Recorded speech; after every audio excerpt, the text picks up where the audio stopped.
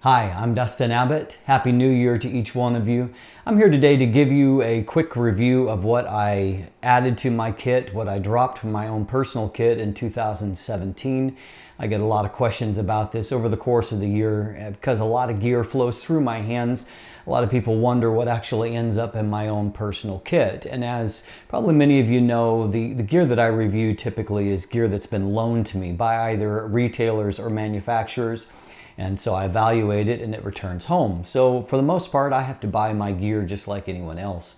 And so, of course, as I evaluate a lot of gear over the course of the year, I make decisions about you know new products, whether or not they're compelling enough for me to replace existing products, and you know and what I actually need, et cetera, et cetera.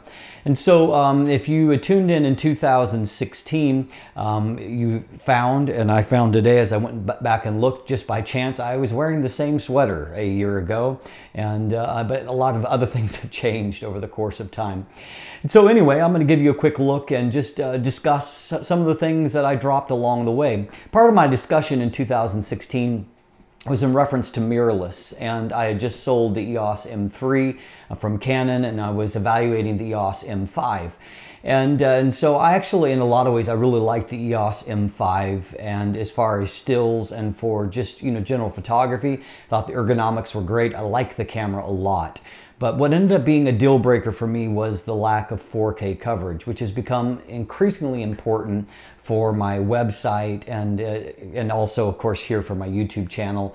And and so I you know I kind of do a lot of with mirrorless in particular I do a lot of video work with it probably almost as much as stills. And so for that reason I ended up going with the Sony a6500 and um, while there has been some ergonomic um, you know adjustments along the way. I don't like a lot of Sony's ergonomics as much as what I did the EOS M5. Um, I love the video footage that comes out of this camera and I have learned to tweak. One thing I do like about Sony's is that you have a, a lot of ability to configure the buttons you know for your own purposes. And so I've got it tweaked now after several months of use to where I, I, like it quite a bit. I've been using it now for about six or seven months. And so um, I, am comfortable with it. I like the video footage in particular, and I also like the stills footage. And so of course I was kind of starting from scratch. And so I did add the Sigma MC11 adapter and along with some other adapters from Vello and so that I can, you know, take my existing kit of um, Canon gear and I can, you know, get a lot of it to work reasonably well um, on the uh, Sony body. Um, but I have built a small little kit of specific lenses for uh, APS, Sony APS-C. One of those is Sony's basic uh, 55 to 210 millimeter. This is an f4.5 to f6.3. It has the uh, steady shot built into it. And this lens is good, if not spectacular. It's, it's kind of a replacement for a similar Canon lens that I had before. And, and so, you know, it does the job. I don't reach for it all that often, but it's also a pretty small investment. I bought this one just used off of eBay. And so anyway, small kind of risk reward kind of payoff there. And the rest of my kit is actually uh, lenses from Sigma and their DN series. I reviewed a number of these this year and I felt that they were really great optics, great bang for the buck. And so I have one of the um, older series 60 millimeter f2.8 lenses. This is a really nice little portrait lens. It also is a really great video lens if I need a little bit longer framing. And, and so I really enjoy it for that. I also added and really enjoy, it's, it's probably the, it's the mirrorless lens that I use the most. It's the 30 millimeter f1.4 um, lens from Sigma. It's a full frame equivalent of 45 millimeters and so kind of a normal lens and so it's very handy. Um, it's sharp optically and of course it has a very wide f1.4 maximum aperture that just gives that extra degree of, of, of, versatility.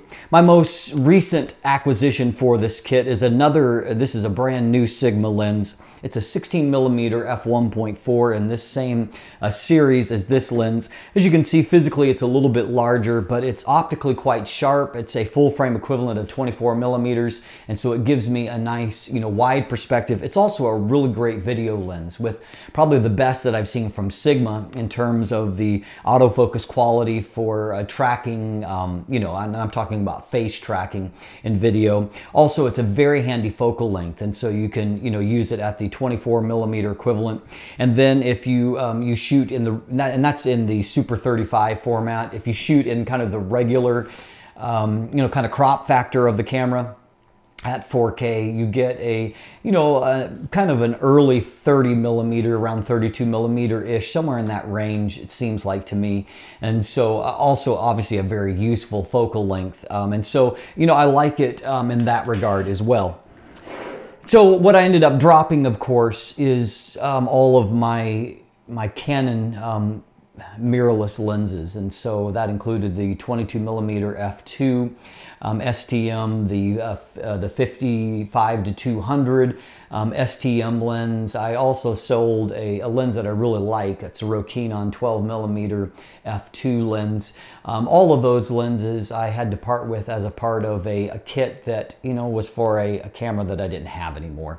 And so um, also what I ended up dropping this year is both the Tamron 24 to 70 f2.8 VC and the 70 to 200 f2.8 VC lenses. Lenses I had used for a number of years in my kit, um, particularly for weddings and events and, and some for travel with the 24 to 70.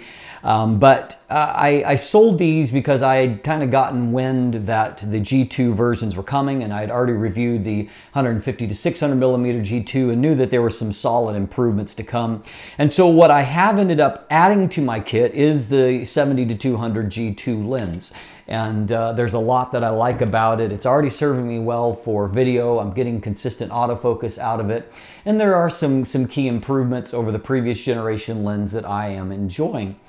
Uh, I also uh, determined to not add a new 24 to 70 millimeter to my kit. During that interim period where I didn't have one, I found that when I was shooting weddings or events, I was reaching for the Canon 35 millimeter f1.4L Mark II. Loved the results that I was getting, and so I decided that the extra trade-off in aperture um, and just the amazing optical quality of that lens um, was worth the, the lost versatility in terms of focal length. And so that's what I ended up going with there. Finally, I added a couple of manual focus lenses to my kit. Now, I don't know for sure whether or not that this particular lens is here for the long haul. I have to determine once I make one final change whether or not I actually end up using it a lot. But this is a beautifully crafted Voigtlander lens. It's a second Voigtlander lens that I own. It's a 40 millimeter f2 lens. And so, of course, I love the very compact package of it. And that's really what attracts me to a lens like this. And of course, mechanically, it's beautifully constructed, beautiful lens. Uh, might, you know, be some debate whether or not optically it gets reached for compared to my other 50 millimeter options that I have in my kit. And so uh, anyway, I, I, did drop the Canon uh, 40 millimeter f2.8 STM. I wasn't reaching for it very much and the wider maximum aperture of this lens made me want to take a flyer on it. So jury's still out whether or not this is a long-term addition to my kit. Jury is not out on this lens, and last year I had sold my Canon 135mm f2 um, lens. And this year I took the plunge and I added the Zeiss Milvus 135 millimeter f2 to my kit. And while, you know, just as I've said before about 135 millimeter focal length, I don't reach for it all the time. But the images out of this lens are just so special that there are moments that I reach for it and I'm delighted in what it delivers for me. And I, I love Zeiss optics. I didn't have a lot of Zeiss lenses in my kit because they're expensive. And so consider this maybe a slow Zeiss building um, in my own personal kit. And so of course this is manual focus only, which leads me to a third consideration um, of something that is in the process of happening, and that is that I am selling my second Canon 6D body that I had had. I'd sold one in 2016, and I'm about to sell another one. And uh, I, in the process, I'm probably going to make a transition, uh, pending my review of it, to the Sony a7R III. And uh, just to give me a higher megapixel body, also, I'm, I'm really loving the Sonys for my video work, and so that's kind of important to me. But also, I want, I want to be able to shoot lenses like this on a regular basis, and many DSLRs are not really that fantastic for manual focus lenses. And so I'm, I'm planning to use the Sony a7R III as my platform also for shooting a lot of my manual focus glass on. And so I'm looking forward to testing that. And I was supposed to have a copy of the A7R3 in my hands already by this point. It hasn't arrived yet. There was some mess up with shipping, but I hope to be soon reporting to you about that. And so anyway, here is, you know, what I've dropped, what I've added in 2017 to my own personal kit. And, you know, I, I evaluated some other things that didn't make the, make the cut. I evaluated the new 6D Mark II, and I thought that that might be an addition to my kit to replace my last 6D but I wasn't impressed enough by it. And again, I need that video quality. And so um, Canon, if you're paying attention at this point, this is a, a real deal for a lot of photographers out there that, you know, use DSLRs, use mirrorless in hybrid ways, both for stills and for video. And so I'm certainly one of those that is having to make some hard decisions about some Canon products based on my need for video above all. And so of course, that being said, I'm filming on a 5D Mark IV right now, which produces great video just at that incredibly huge bit rate that's not always necessary for the kind of work that I personally do. I'm Dustin Abbott, and if you'll look in the description down below, you can find uh, some buying links for some of these things if you'd like to add some of these own things to your kit. And of course, I want to thank all of you for your support of my channel in 2017, all of the new subscribers, and all of you that are faithfully there checking out my new content. Thanks a lot for that. And again, Happy New Year. Have a great day.